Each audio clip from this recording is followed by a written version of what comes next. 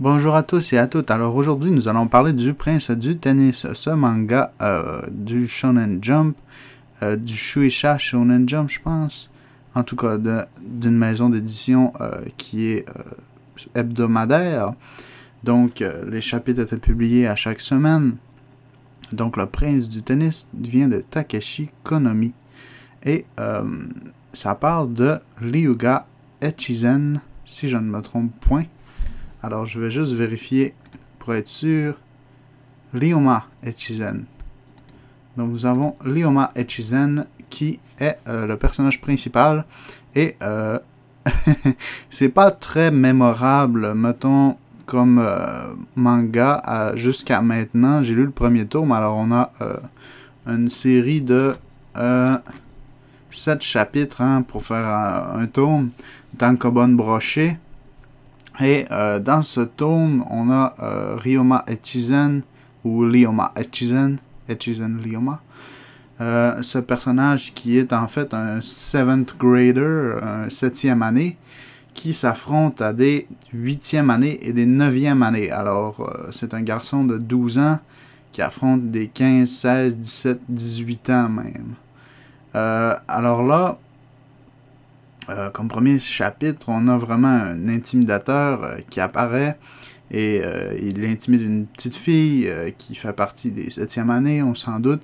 Alors là, on se demande pourquoi est-ce qu'il pourquoi est-ce qu'il ne va pas tout simplement péter la gueule du jeune garçon Ryoma Echizen pourquoi est-ce qu'il demande de l'affronter euh, à un match de tennis euh, au lieu au lieu de simplement euh, lui péter la gueule ou de l'intimider comme toute personne censée entre guillemets ferait dans la vraie vie en tant qu'intimidateur hein? alors on a cette espèce de fantaisie du tennis où tout se déroule dans le tennis et tout tout se, joue avec une partie de tennis. Alors là, euh, le chapitre 3, euh, c'est vraiment euh, un second year contre un first year. Donc, c'est le combat de, cet enfant qui est arrivé en retard et qui a été éliminé en passant d'une compétition lorsque le manga commence parce que la petite fille qui se fait intimider eh bien, elle lui, lui a pas donné le bon chemin pour se rendre jusqu'à la compétition de tennis. Et donc, euh, il s'est fait éliminer. Et euh, ce deuxième année contre ce première année, eh bien, ils se battent euh, au tennis, en fait. Et c'est une déclaration de guerre, comme le dit le chapitre 4. Et c'est une déclaration de guerre contre les aînés, en fait, hein, les plus vieux. C'est le fantasme d'avoir le pouvoir d'avoir la, technique, d'avoir la sagesse avant tout le monde. Hein. C'est vraiment une espèce de manga pour les jeunes, euh, pour les jeunes en fait, euh, dirigé plus envers les jeunes. Et euh, je dirais que bien que ce soit un manga dirigé envers les jeunes, il y, aurait possibilité de faire quelque chose de très mature sans avoir nécessairement cet aspect pour les, les jeunes complètement enrayés c'est très possible, euh, c'est très faisable. Et euh, il y a après ça, euh, la dans A Declaration of War, c'est cette canette qui est placée de l'autre côté du centre de tennis et que les, les 7 graders, soit les 7e années, doivent faire renverser pour remporter 10 000 yens, soit 100 dollars environ dans notre économie à nous. Euh, et euh, ils n'y parviennent pas parce qu'ils ne visent pas assez bien pour atteindre la canette. Et même s'ils atteignent la canette, eh il y a des roches dedans, ce qui fait en sorte qu'elle ne peut pas tomber vraiment. Mais, on a Ryoma Echizen ou Ryoma Echizen qui arrive et en grand badass a battu l'intimidateur au tennis et renverse la canette même si elle a des roches dedans. Alors là, c'est vraiment censé être impressionnant. Euh, je laisse à vous d'en juger avec le style de l'auteur qui est assez... Euh, mais je veux pas bâcher complètement le livre, mais Euh, le style d'auteur qui est assez boiteux. Hein. Pour un premier tome, il faut toujours s'attendre à ça dans les mangas. Parce que c'est souvent la première. Le, réchauffement d'un auteur. C'est le, le, le, réchauffement de son talent. C'est le. C'est l'entraînement, comme, comme qui dirait. Alors, euh, dans ce chapitre, Declaration of War, il, il, met vraiment tous les, les, plus vieux contre lui. Et ensuite, euh, nous avons ce Dusty Racket comme chapitre, dans lequel euh, le personnage principal se voit confier une raquette euh, très peu enviable, toute poussiéreuse, et il doit s'arranger pour battre un des plus grands, dans le fond un des plus vieux, avec cette raquette-là. Et il réussit à le battre quand même, hein, bien sûr, alors là, on a les deux prochains chapitres dans lesquels euh, c'est vraiment euh, toutes les, les, les, le, c'est vraiment quelqu'un de plus vieux qui s'en va se battre contre lui. Mais là, cette fois, euh, ah non, non, non, non, le plus vieux qui se bat contre lui à la, la honnête, à la, à la franquette, à toute bonne franquette, eh bien, celui-là, c'est avant le tour de la raquette parce que il a affronté quelqu'un avec sa main droite. Et il est gaucher, Echizen. Donc, on a ce personnage qui est un petit jeune qui réussit à battre des plus grands avec sa main droite au lieu de sa main gauche, qui est sa main euh, principale, sa main dominante. Alors, ce personnage-là, euh, il est vraiment badass dans son style. Il est vraiment silencieux. C'est un protagoniste euh, assez euh, discret. Dark Sasuke, je dirais. C'est vraiment. Dark Sasuke, c'est un peu une blague. ce que je veux dire, c'est qu'il est vraiment. il est vraiment ténébreux, sombre, sérieux. Il se prend au sérieux. Il est froid il est discipliné et euh, il se bat contre un, plus vieux que lui, qu'on sait tout de suite qu'il est plus fort que ce qu'il laisse paraître. Mais euh, il le bat quand même, même s'il lui laisse une chance avec sa main droite. Donc, euh, il le bat un match de tennis avec sa main droite contre le plus vieux qui perd avec même sa main principale, sa main dominante.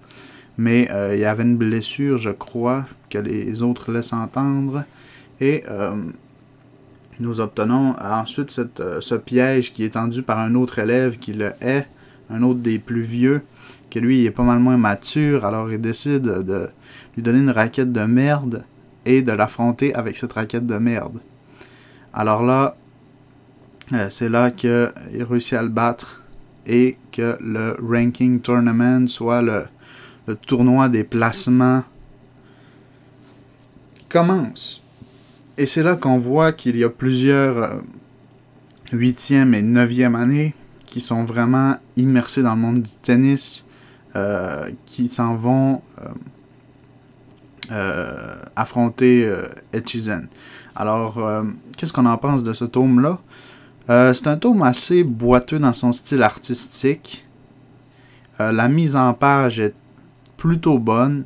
Je dirais que le texte est bon le, il est très expressif, comme dans tous les mangas d'ailleurs, euh, presque. Et euh, il est très. Euh, il est très bien mis en page, c'est-à-dire que la, la, la, la coupure des cases est très réussie. On arrive à voir le scénario avec les cases.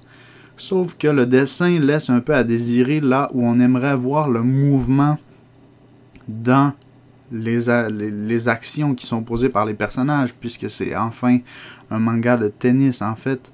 Et il y a déjà, euh, on a déjà une, non pas une, deux, trois, quatre parties de tennis qui sont commencées seulement dans ce premier tome. Et euh, par partie, j'insinue bien sûr des exercices ou des entraînements ou des, des en fait, un jeu comme d'atteindre une canette avec euh, la balle, ça fait partie de mon comptage. Donc, euh, il y a plusieurs. Euh, si vous voulez du tennis, alors vous allez en avoir. Hein. J'imagine que l'animé, adaptation en animation japonaise de cette série-là, doit être excellent en fait. Et l'exagération fait partie de la classe de manga à laquelle ce manga appartient. En fait, je dirais que plus le manga est exagéré, mieux c'est. Parce que plus c'est exagéré, plus les parties sont divertissantes. Et plus ce sera fantastique, fantaisiste, fantasmatique, pourrais-je même ajouter avec néologisme. Et plus ce sera meilleur, mieux ce sera. Euh, plus divertissant ce sera du moins parce qu'avec une seule partie de tennis, on a déjà vu un petit peu l'essentiel, soit de faire euh, des coups tout simplement pour renvoyer une balle à son adversaire en fait. Parce que si ça se résumait seulement à une partie de Pong, eh bien on n'aurait pas beaucoup de, choses à voir là-dedans. Hein. Et euh, Echizen, en fait le personnage principal, le protagoniste, euh, il y a cette euh, fille avec qui euh, il y a une petite romance qui se développe hein, déjà. Et c'est mignon à voir à cet âge-là. c'est mignon, mais sans plus. On sait que c'est un manga shonen, alors ça n'ira pas plus loin que ça. Et je m'attends à la voir, la revoir plus tard dans les autres tomes, sans nécessairement que ça devienne une histoire en soi. Ce qui est un peu décevant parce qu'on pense à d'autres mangas comme My Academia qui ont euh, des relations euh, de romance ou encore Naruto ou tous ces mangas qui ont quelque chose de des relations de romance qui sont euh, développées au début tout simplement pour avoir le quota de rempli hein, le, quota de de de rempli oui c'est bien ça de rempli et le quota quotidien du cliché, de la romance, de la sous-romance qui se fait. Et donc, euh, avec tout ça, on a cette histoire de coming of age, soit de, de l'ère du personnage principal qui, qui devient glorieux, hein, de cette dominance qu'il asserte, qu'il impose aux autres personnages. Hein. C'est vraiment souvent ça avec les mangas de sport, puisque c'est un manga de sport pur et dur de sang mêlé. Mais euh, oui, c'est vraiment un manga pur et dur dans son sang euh, de, sport. Et euh, on voit que l'auteur comprend très bien le sport et qu'il a beaucoup de surprises en réserve. Alors pour ça, je dois dire que j'ai hâte de voir qu'est-ce que les personnages vont faire en termes de tennis, en termes de technique. Et déjà, il y a le poignet, le coup de poignet qui est comme renversé, qui fait en sorte que Echizen réussit à faire euh, vriller la balle dans l'autre sens. Alors, au lieu de tourner dans un certain sens, la balle, lorsqu'il la frappe, tourne dans l'autre sens, de la manière qu'il le frappe. Et euh, ça donne que lorsqu'elle atteint le sol, elle s'en va directement dans la face de la personne au lieu d'aller euh, vers le sol plus. Donc, euh, au lieu de rebondir vers le sol, elle s'en va directement vers le visage. Elle fait comme un ricochet. Au lieu d'aller à droite, elle irait à gauche, par exemple. Alors ça, c'est vraiment intéressant. On se, on se demande si ça va être déterminant dans une partie, euh, si les adversaires vont prendre ça en compte, euh, si ça va évoluer, s'il y a d'autres techniques peut-être, s'il en a appris plus et qu'est-ce qu'il y a de caché avec euh, sa main, euh, sa main droite euh, qui est sa main non dominante et sa main gauche qui est dominante. Alors, est-ce qu'il a appris d'autres techniques qui sont encore plus... d'autres techniques, excusez-moi, qui sont plus... qui sont plus intéressantes, qui sont plus encore intenses. Alors voilà, je dirais que c'est tout pour le prince du tennis. je, j'ai bien apprécié ma lecture. Mais encore une fois, le style assez boiteux m'a quasiment gêné. Euh, je me suis dit, euh, mon Dieu, les yeux surtout, euh, les visages, l'angle des visages pour faire les mentons, les cheveux beaucoup. Il n'était pas très impeccable. Hein. J'aurais préféré que ce soit un autre artiste qui fasse les visages. Mais à part cela, les corps en tant que tels, les décors, les, les, chaussures notamment des personnages lorsque la balle atteint le sol, les raquettes, tout ça, c'est très bien illustré. Il n'y a rien de mal à ça et c'est vraiment stylistique. Hein?